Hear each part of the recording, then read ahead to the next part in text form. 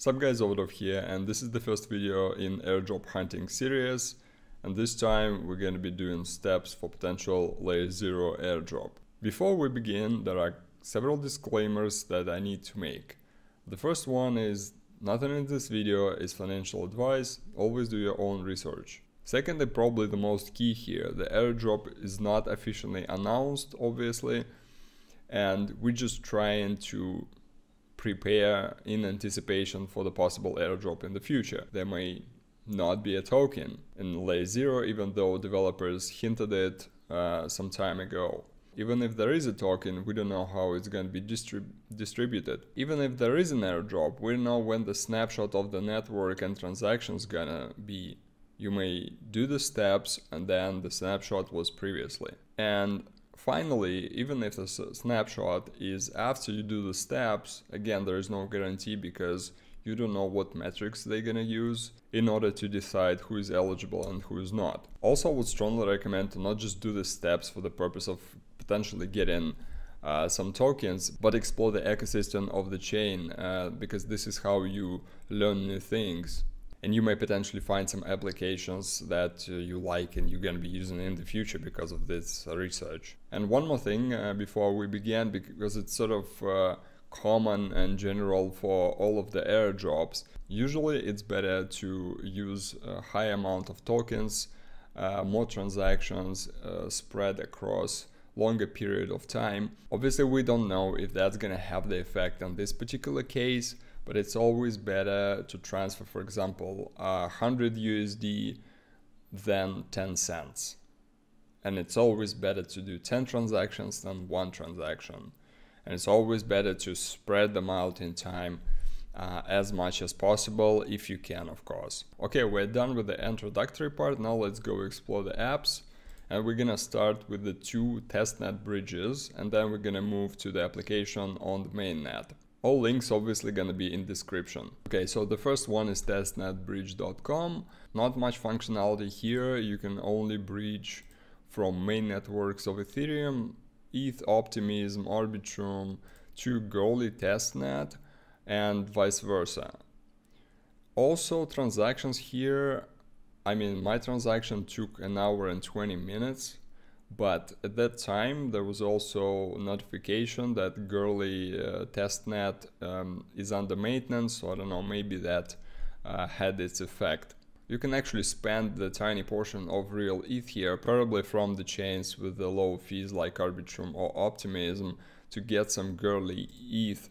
Because the Goerli ETH uh, faucet is only giving you 0.1 G ETH, and that's a really small amount. That's like, will only allow you to do like one transaction if you want to do it uh, on the other bridge. So I think it's a good idea to like spend a tiny portion, get yourself like five, five, six uh, GETH and to do transactions on the other bridge. This is this bridge. It's basically the USDC bridge where you can transfer USDC from uh, different test nets between different test nets. And if you try to do the transactions here, uh, for example, from like Goerli to Fuji, it cost me around 0.1 GETH in gas. And yesterday it was even more congested. It was 50% uh, more than that even. So that's why I was actually suggesting get some GETH here uh, to use to do more transactions on this test bridge later. Uh, they do link faucets for the USDC. This is the USDC faucet. We have the AVAX faucet. These are working fine. The main problem right now is with the Goerli faucet because A, you have to now register account on Alchemy. I mean, that's not a big deal, right? But you can only get 0.1 GETH in any 24 hour period. And it's not like daily. It's you do the transaction and then 24 hours has to pass for you to get another 0.1 GEs. So that's just like, I mean, if you do that in a period of time, you'll definitely have enough, but considering how much that costs to get the GEs like from the real ETH, I mean, you can spend like five bucks. I guess if, if you, if you airdrop hunting, you probably prepared to spend like 50 to 100 bucks in like gas fees, etc. Yeah, so play with this bridge on the test net. Okay, now moving on to the main net and the first application here is going to be Stargate Finance. This is pretty much the regular DEX where you can transfer and you can also provide liquidity. To do that, you need first to pool your assets and then add them into your farm. There are a lot of chains supported here. As you can see, there's Ethereum, BNB, Avalanche, Polygon, Arbitrum, Fantom, Optimism, and even Metis. You can also here find a decent bridge where you can transfer your stable coins. Uh, for example, if you need to transfer, let's say, USDT from AVAX to Arbitrum, for example, you transfer 100 uh, USDT and the commission would be 18 cents uh, for for this transaction, not covering gas. Obviously, the gas would be calculated separately. But if you need to transfer stable coins, it's actually a good idea to do it here. Uh, considering that uh, more transactions uh, you do on the Stargate, the better in this case. But also a good idea to provide liquidity at least in one of the pools. Okay, moving on, the next app would be Rage Trade. It's a perp. Uh, it's actually built on Arbitrum but powered by Layer 0 what is possible here, you can either trade or you can deposit in Vault and I would actually suggest depositing in Vault. The only problem with the vaults now, if you check this one reached maximum capacity, then you have here you have two vaults, one risk on and one risk off. The risk off is at full capacity, 100%.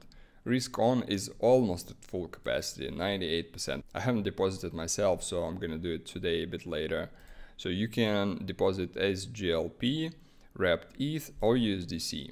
So here we just deposit and we can't really do a large number of transactions unless we trade and this is really up to you. And the last non-bridge application here would be Radiant Capital, which is lend and borrow protocol. And it's also built on Arbitrum and currently supports DAI, USDC, USDT, ETH and wrapped BTC. If you open a pool, you can see potential actions that you can do. For example, you can deposit there is also like a, um, I don't know what's it called. It's a, like a product that they call uh, looping, uh, where they use leverage and I mean, I can't really explain it because I don't get it myself. I'm not a big DEX guy. So in my case, I'm just gonna simply deposit and not use this. And last but not least, we got two bridges to Aptos. That's uh, the Aptos bridge and also the bridge on the Liquid Swap, which is the main DEX of the Aptos network. And for these transactions, uh, you will need a separate Aptos wallet because MetaMask and other mainstream wallets doesn't work